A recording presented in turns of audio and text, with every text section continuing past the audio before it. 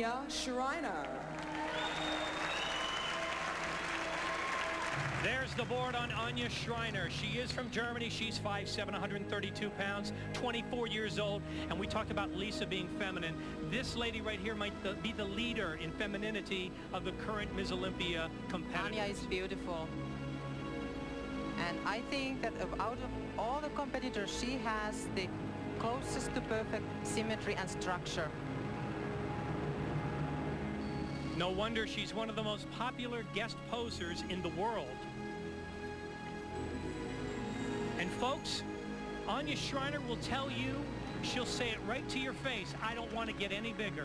That's right. This is what God gave me. This is what I'm working with. I'm going to be symmetrically perfect. And I think she is. She is. She's a graceful, dramatic poser, working with original music. Her hobbies include dancing too, so that's where she gets the confidence for performing here. You will see her dance background coming up here. Uh-huh. Here we go. She's the epitome of lean symmetry. And she's so graceful in her movement. I said she's from Germany, Mario, but she's now living in Los Angeles. The lady is smart. She knows where to be for this sport. She knows where the opportunities are, and she she's just moving now after this competition. Right. And of course, she's uh, very much a part of ESPN, because she's a part of the body shaping show on ESPN. She's just a beautiful lady. Beautiful blonde hair against her tan skin.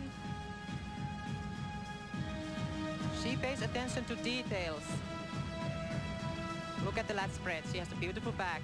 But tell me, can symmetry and symmetry alone and femininity win the Ms. Olympia title? Well, I don't know, Joe. In this case, Anja looks better now than at pre-judging. At pre-judging, she looked a little bit of, a little bit flat. So maybe the bigger girls have a lead on her because of that. Well, that's that's an interesting observation because out of pre-judging, she finished eighth, and that's not a really strong position to be in if you want to win this title. No, it's not, and particularly since last year she took third place.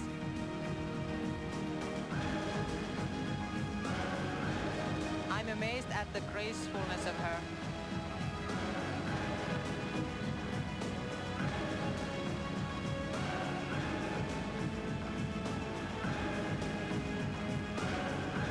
Very dramatic music routine to match.